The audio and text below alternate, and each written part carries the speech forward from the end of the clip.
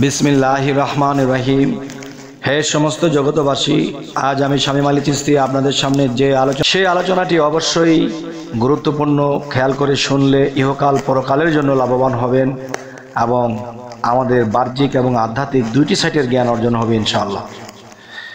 প্রথমত বলব, পৃথিবীতে অলিয়া উলিয়ারা চুপ কেন? বিশেষ করে পাগল যারা যারা আল্লাহর কামেলাতি লাভ করেছে সেই পাগলরা চুপ কেন? যেমন জালাল উদ্দিন খা কবি একদিন একটা কথা লিখেছিলেন যে, শিয়াল কুকুরে করে কলরব, আউলিয়ারা রয় নীরব। তাহলে, শিয়াল কুকুরে করে কলরব, আউলিয়ারা রয় নীরব এর মধ্যে বিষয়টা কি? এই বিষয়গুলো তুলে ধরবো ইনশাআল্লাহ। প্রথমত আমি একটি যুক্তি ধারণ করব। দেখবেন, যারা আল্লাহর ইবাদত করে সাধনা করে না, কিন্তু ইবাদত করে বা নামাজ পড়ে, বা যারা নিয়মিত আল্লাহর ইবাদত করতেছে, নামাজ রোজা করতেছে, তারা কিন্তু একটা কথা তাদের ভিতরে চলে কি? যে আমি নিয়মিত নামাজ পড়ি, আমি আল্লাহর ইবাদত করি। এবং মানুষকে গলা ফুলিয়েও বলতে পারে যে, অলিয়া উলিয়া যাহারা আছে কামেল, এবং যারা পাগল ফকির আছে কামেল, তারা চুপ কেন? তারা মৃত্যুর আগেও চুপ দেখা গিয়েছিল এবং মৃত্যুর পরেও তারা চুপ কেন? আমি কি আর বলব? অবশ্যই এই কথাগুলো জ্ঞানী গুণীদের জন্য প্রযোজ্য।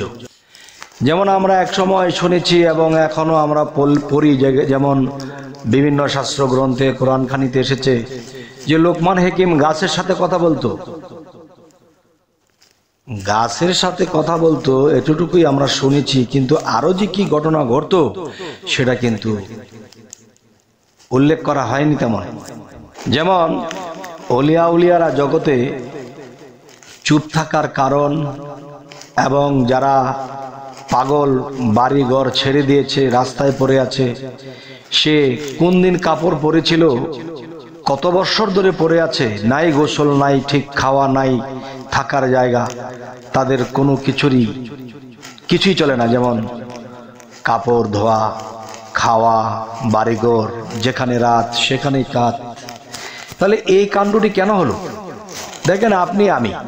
যদি ইচ্ছা করি আমি একটা রাত রাস্তায় বসে কাটিয়ে দেব।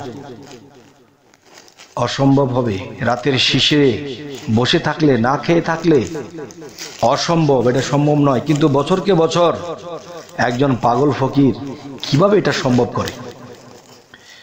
তবে একটা জিনিস দেখেন, যেমন ইসুফ আলাইসাল্লামের সময় যে তার রূপ দিয়ে আল্লাহ পাঠিয়েছে, সেই ইসুফ আলাইসাল্লামের দিকে মেয়েরা যখন তাকিয়েছিল, তখন লেবু কাটতে গিয়ে হাত কেটে ফেলেছে।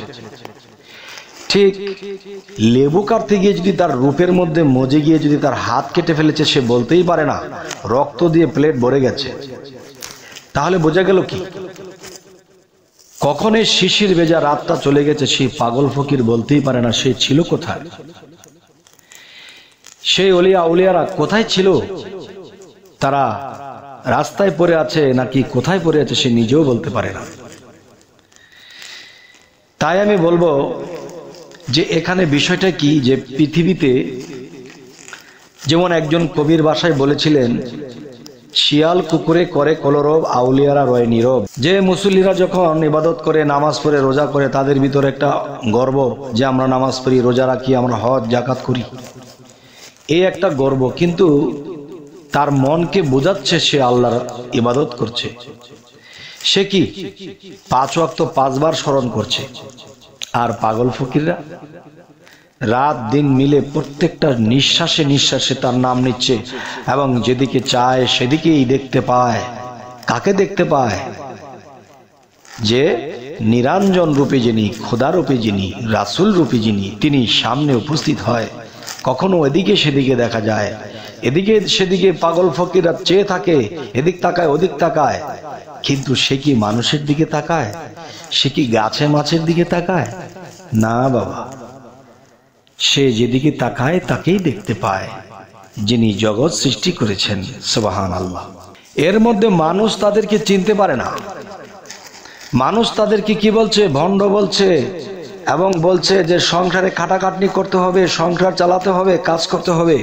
এই জন্য সে পাগলের বেশ নিয়ে বসে আছে। আরে বাবা, আপনি দুইটা দিন বসে দেখেন না। আপনি পারবেন না। আপনি সাথে সাথে সেখান থেকে নিজে নেই, নিজেকেই নিজে বহিষ্কার করে দিবেন যে এটা সম্ভব নয়। কাজ করে খাই, সেটাই ভালো। এখন বিষয়টা হলো, তারা বছরকে বছর বাড়ি নাই গড় নাই, খাওয়া নাই, কাপড় নাই, গোসল নাই, কীভাবে থাকে? কীভাবে থাকে আমি সেটাও আমি আপনাকে বলছি।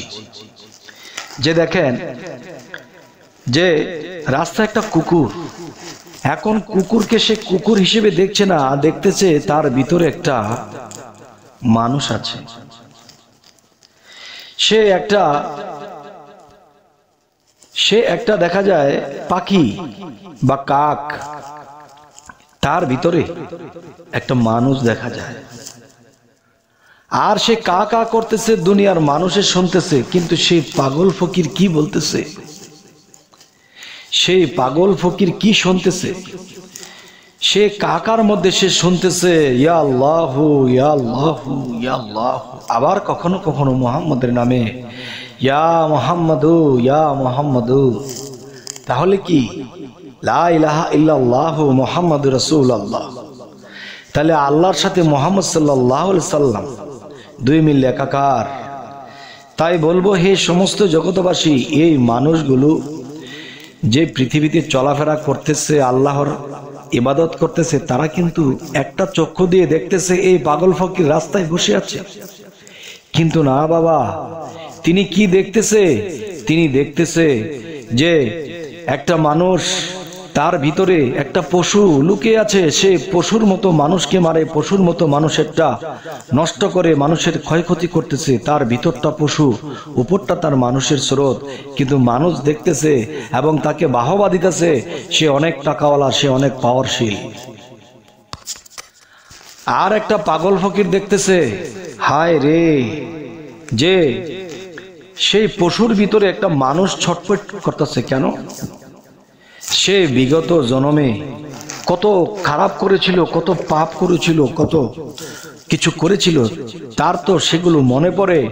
আর বলতেছে যে সে আকাম কুকাম করে সেই খারাপ পাপের কাজ করে, আজকা পশু জনমে এসেছি, আল্লাহ আমাদেরকে পশু বানিয়ে দুদুকে নিক্ষেপ করেছে।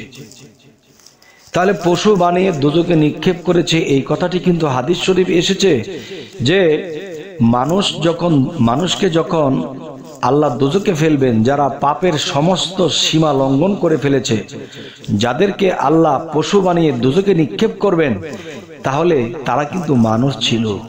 কিন্তু তার কর্মদোষে সে পশুর স্রোত এসেছে, কিন্তু তার ভিতরে আত্মার স্রোত কিন্তু যাই হোক, হে সমস্ত জগতবাসী আজকের এই এদিক সেদিক করে সেই কথাগুলো কেন বলছি?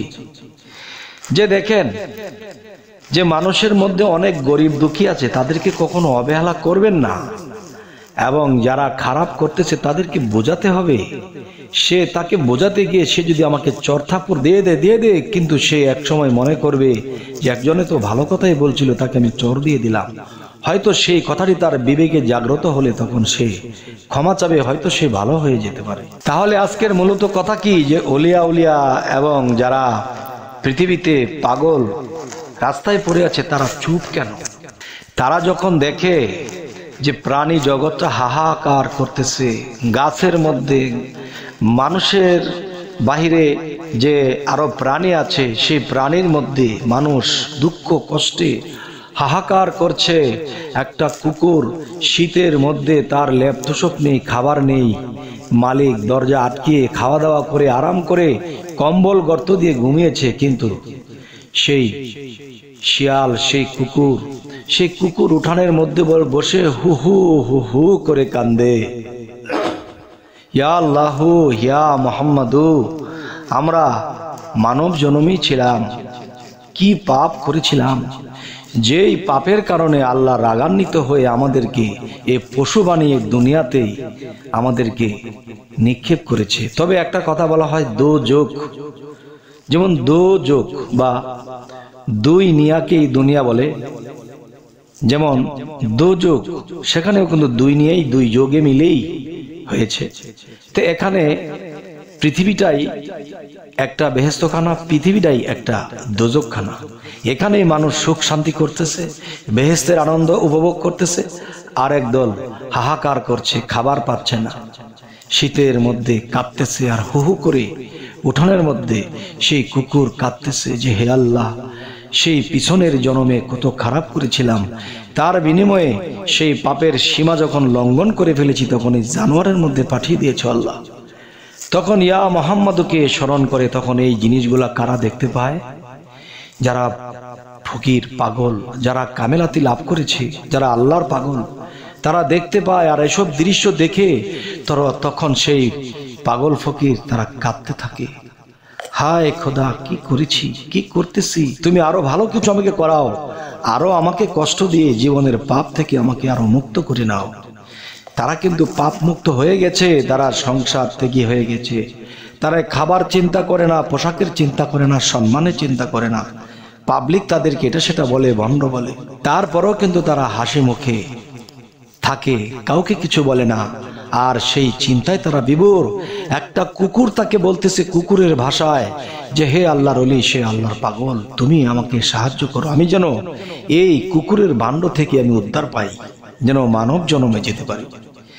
এবং গাছে ডেকে ডেকে বলতেছে, হে ফকির, হে পাগল, তুমি তো আল্লাহর পাগল। তুমি তো সর্বত্যাগী হয়ে গেছো।